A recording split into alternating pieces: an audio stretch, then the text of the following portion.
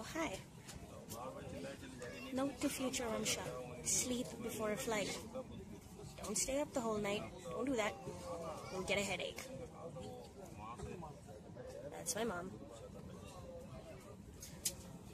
We're going on an adventure today. Hmm. It is 10 a.m. and we are in a plane and we are headed to Karachi, which is exciting. That guy out.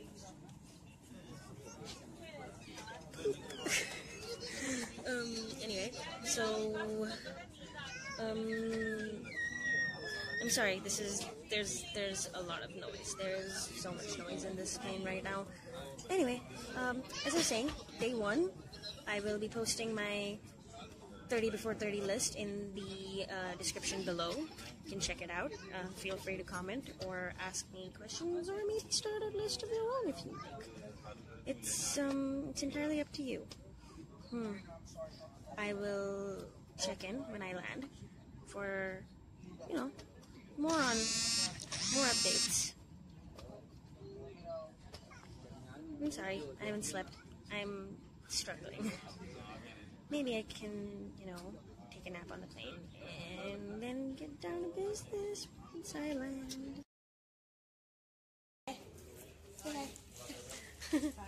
Hi. hi, hi. Uh, so we've just landed. I'm I'm sorry if it's shaking a lot. Oh, that's not, that doesn't work either. Look at that! Ooh. Fancy big airport. Wow. Okay, we're in Karachi for about a month, and um, I think it's been it's been quite some time since we've spent this much time like in Karachi, hasn't it? So I'm super excited. We used to live here before, a lot of friends, and I'm you know looking forward to running my plan by them and see what they have to say and uh, get some advice and get some insight.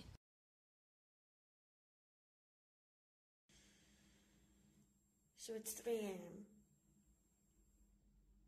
But I don't count it as the second day already I see the sunrise. So I'm going to count this still as the 2nd of April. Even though it's officially the 3rd.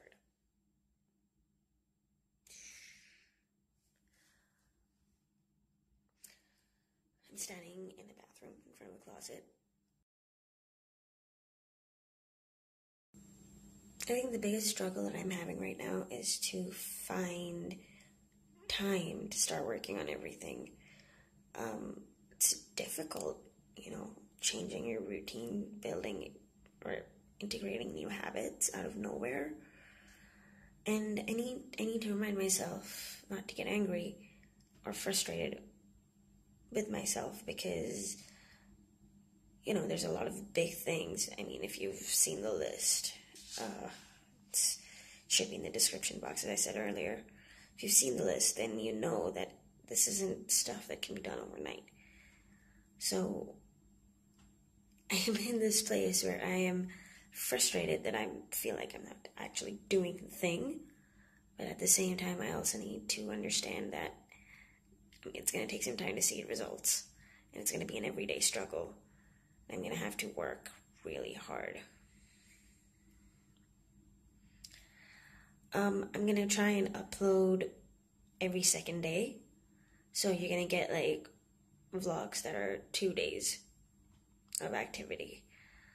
Um, the editing is a bit shoddy, but you know, just trying to do the best that I can in the little time that I have because, as I've mentioned, I'm in Karachi and I've got a whole bunch of work and a whole bunch of weddings to attend. And if you know anything about Pakistani weddings,